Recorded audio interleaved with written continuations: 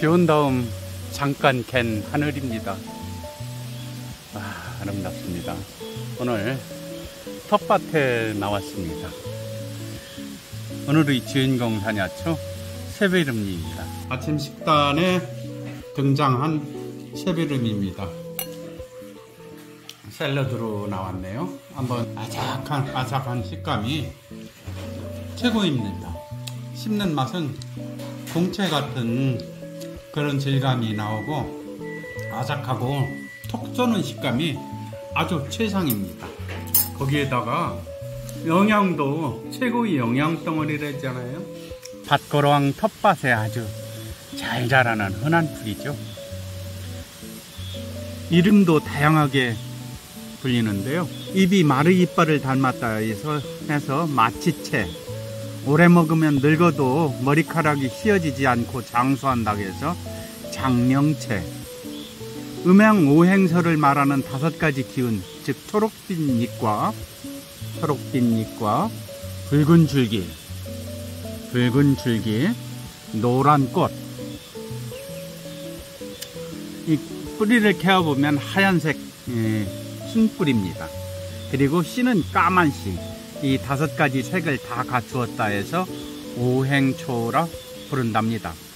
채취 시기는 봄부터 여름까지 상당히 생명력이 강한 풀이죠. 간과 대장 경락에 작용합니다. 간 대장에 작용합니다. 이 효능은 이 소변이 잘 나오지 않는 증세에 아주 효용, 효험이 있답니다.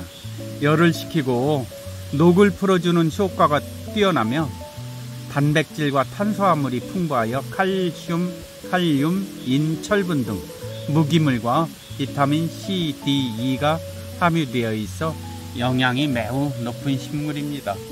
여기저기 아주 뭐 굉장합니다. 이 새비름에는 생명체 유지에 필요한 필수 지방산 오메가3 지방산이 새비름 100g에 300 내지 400mg이나 될 정도로 풍부하게 들어있답니다.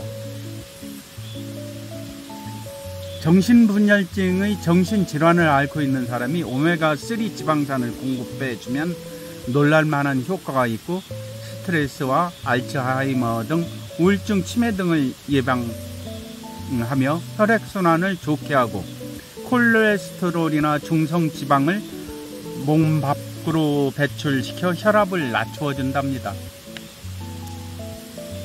이 세브름은 최근에 발암물질에 대한 연구 결과가 발표된 적이 있었는데 발암물질에 대하여 65.4%에서 91.2% 정도 발암물질을 강하게 억제, 억제시킨답니다. 특히 위암세포의 생육을 제어하며 쥐 실험에서는 각종 종양 억제의 효과가 큰 것으로 나타났습니다. 어떻게 먹느냐고요? 약용 식용 방법 알아볼까요? 첫 번째 달여 마십시오. 말린 잎 산액이 8g을 물 1리터에 넣어, 넣어 끓기 시작하면 약하게 줄여 200ml 내기 300ml가 될 때까지 달여 하루에 2회 마십니다. 두 번째 나물로 먹는 방법인데요.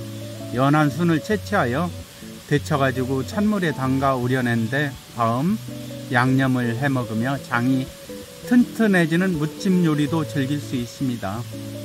된장, 고추장, 파, 마늘, 깨소금을 넣고 마지막에 참기름을 넣으면 무침 완성입니다. 또 부드러운 잎과 줄기를 소금물에 살짝 데쳐 햇빛에 말려 묵나물로 저장해 두었다가 물에 불려 양념을 넣고 무치거나 기름에 살짝 볶아서 먹어도 좋습니다. 어, 또 새비름 반찬으로 이것을 드시면 피부가 깨끗해진답니다. 이 새비름을 생으로 먹을 수 있으며 샐러드의 환상적인 첨가물이 됩니다.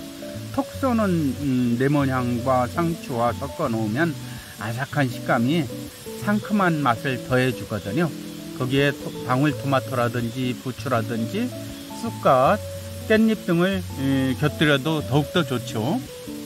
이 생즙으로 또 해서 먹어도 이것은 어, 수분이 많아가지고 좋습니다.